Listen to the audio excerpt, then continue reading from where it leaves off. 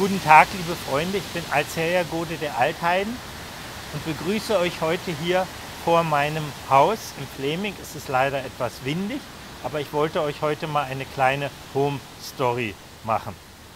Und zwar wollte ich euch meinen Garten zeigen und mein Haus von außen und vielleicht wollt ihr euch das mal ansehen, damit es nicht so in, um, unpersönlich ist. Wir haben dieses Jahr vor allen Dingen auch ganz viele Fliegenpilze im Garten. Hier seht ihr jetzt mal ein Bild, wie das Haus früher aussah, als wir das vor 25 Jahren gekauft haben. Wir haben es ja jetzt inzwischen renoviert. Wir haben jetzt äh, die Fenster wieder zurückgebaut zu historischen Holzfenstern. Wir haben die Veranda verschönert und so weiter. Das kann man sehen, wenn man das jetzt so miteinander vergleicht.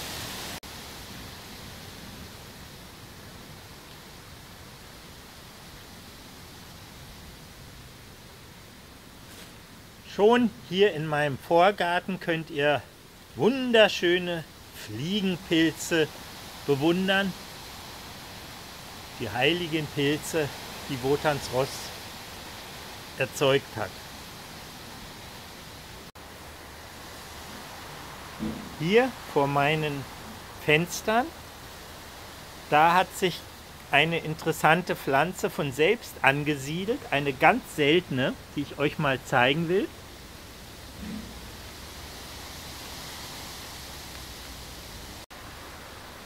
Das ist sogenannter Dipdam, eine Pflanze, die schon seit den 30 Jahren unter strengstem Naturschutz steht und eigentlich hier in Brandenburg gar nicht vorkommt.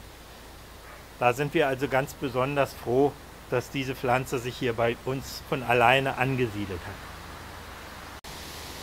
Ja, hier stehe ich jetzt vor unserem Götterhain, vor meinem Götterhain, wo ich jeden äh, Tag meine Tagesgebete mache. Ich zeige euch den mal, ich gehe mal zur Seite. Da sind eben die Götterbilder nach dem Vorbild von Uppsala haben wir hier aufgestellt. Ich habe auch schon manchmal hier gefilmt. In älteren Videos werde ich euch vielleicht daran erinnern. Hier haben wir im Garten auch eine kleine Sitzecke, wo man zum Beispiel mal frühstücken kann oder Gäste empfangen kann, wie man möchte. Dahinter haben wir auch einen Gartenteich. Wir haben auch sehr viele Stellen für Eidechsen. Aber das ist eine andere Sache, das wollte ich euch heute gar nicht jetzt so genau erklären. Gehen wir mal weiter. Ja, hier hinter mir seht ihr die Gartenseite meines Hauses und es ist jetzt völlig von Efeu bewachsen und wenn ihr euch die alten Fotos anseht, die ich euch jetzt gleich zeige, dann werdet ihr den Unterschied sehen können. Ja, also wir hatten die Fassade gemacht. Da waren ja nur so eine schrecklichen Asbestplatten dran. Haben wir die Fassade neu verputzt und dann haben wir als erstes natürlich den Efeu da auch angepflanzt, damit der Garten schön grün wird.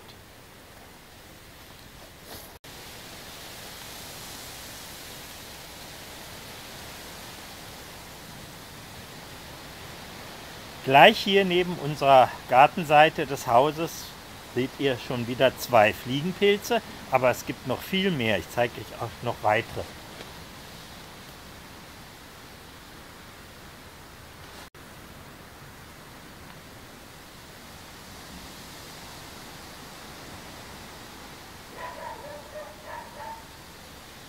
Das sind hier die Fliegenpilze in meinem Garten, die ich im Moment habe.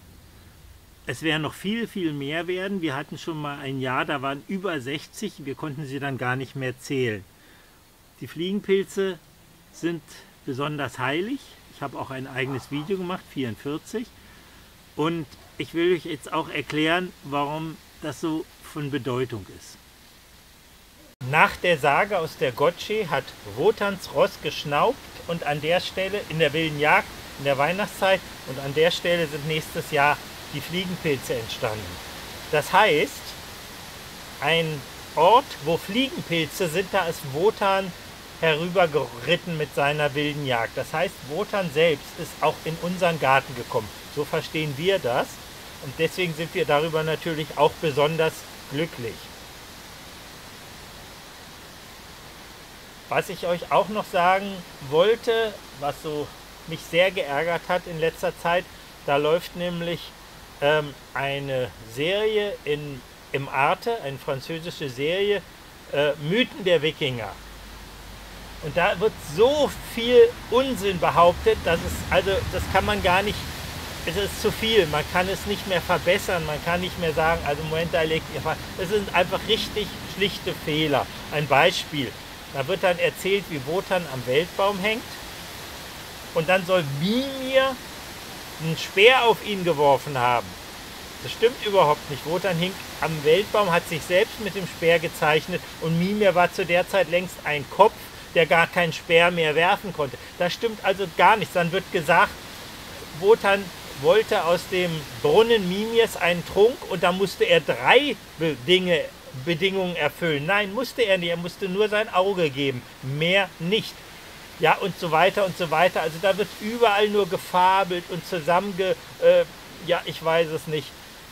Ich kann euch nur ganz, ganz dringend warnen, schaut euch das am besten gar nicht an, denn es bringt euch äh, die Mythologie in eine ganz falsche äh, Erklärung. Lasst es, äh, vergisst es.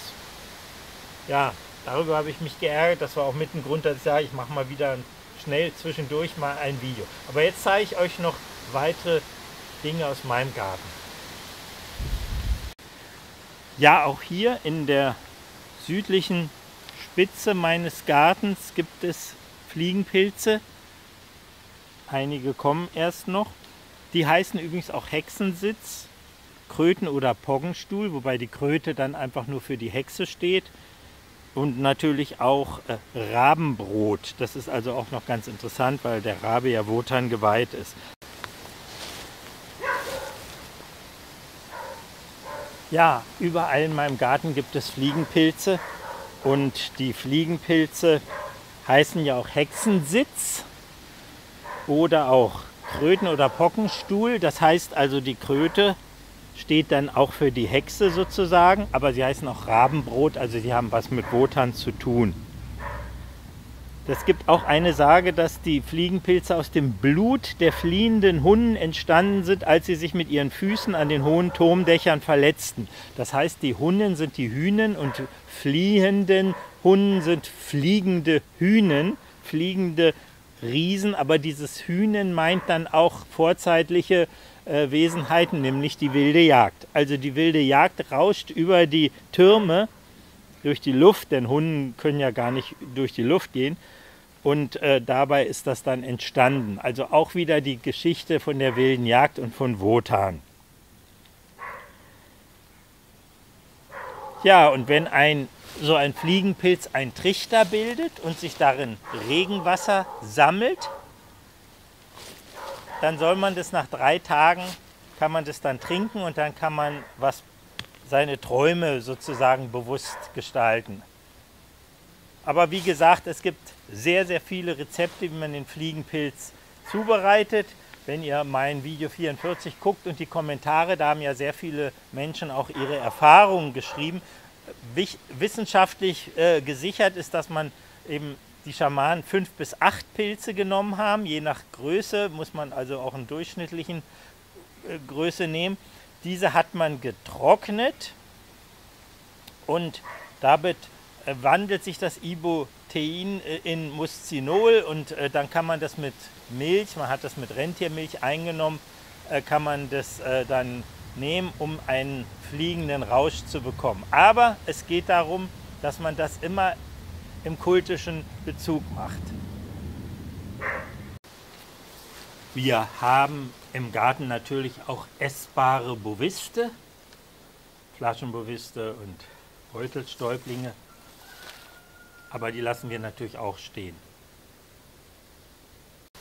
In meinem Garten gibt es nicht nur den seltenen Diptam, sondern auch dieses Jahr das erste Mal den ockerbündigen Samtfalter, also einen sehr, sehr seltenen, eigentlich schon ausgestorbenen Schmetterling, den wir dieses Jahr das erste Mal hier gesehen haben. Und ich wollte eigentlich sagen, wenn man mit den Göttern versucht in Einklang zu leben, wenn man die Natur in seinem Leben einbezieht, weil man sagt, die Götter haben sie geschaffen und die Götter wirken in ihr und die Geister, dann muss sich zwangsläufig ein Garten ändern. Dann wird man kein zweieinhalb Zentimeter langen Rasenmäher haben, dann wird man keine Kiesschüttungen da irgendwo hinlegen, sondern dann wird man der Natur ihren Platz geben und nur da, wo irgendwas äh, zu wuchern droht, ja, dann wird man mal ein bisschen rausnehmen.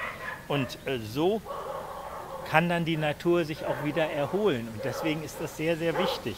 Und ich glaube, die Altheiden sollten das dann auch versuchen, äh, ihre Gärten wieder natürlich zu lassen. Unser Garten hat ja die Auszeichnung bekommen, Natur im Garten Brandenburg. Also ist schon was Besonderes. 31 von 32 möglichen Punkten haben wir erreicht. Und insofern will ich euch anregen, auch eure Gärten entsprechend zu gestalten. Ich zeige euch auch mal als Vergleich ein Bild, wie unser Garten vorher aussah. Da seht ihr alles kahl, nur Büffelgras oder wie man das nennt, Waldried und eigentlich also sehr, sehr eine sehr vereinfachte Pflanzenwelt. Und so sehen äh, unbenutzte, unbewirtschaftete Gärten oft aus, wenn man sie äh, nicht ein bisschen eingreift. Und wenn ich jetzt einen gestalteten Garten habe mit dem ganz kurzen Rasen und so weiter, dann ist das auch leider für die Natur kein Gewinn. Ich muss aber dazu sagen, die ganze Arbeit hier hat hauptsächlich meine Frau gemacht, die sich für den Garten besonders interessiert. Die macht ja auch entsprechende Videos darüber. Ich wollte es euch bloß mal zeigen, wie das so ist, wenn man als Altheide sich so ein kleines Haus kauft, wie man dann da leben kann, wie man das dann schöner machen kann. Ich habe ja auch die Fenster verschönert, ich habe hinten das Haus. Ich zeige noch die andere Seite, das wollte ich euch noch mal zeigen. Ja, ich stehe jetzt hier auf der Hofseite meines Gartens, meines Grundstücks und da sind ganz viele Birkenpilze dieses Jahr gekommen, auch schon in früheren Jahren, neben Fliegenpilzen natürlich. Die sind eigentlich essbar, aber wir lassen sie hier stehen, damit sie sich ausdehnen können.